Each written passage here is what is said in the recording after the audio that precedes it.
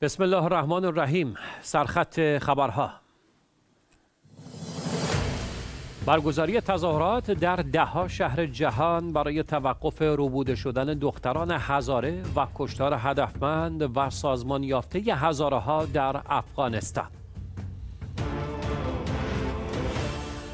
سازمان ملل جنگ سودان تا کنون بیش از 13 هزار کشته بر جای گذاشته است. و آیت الله العظما شیرازی.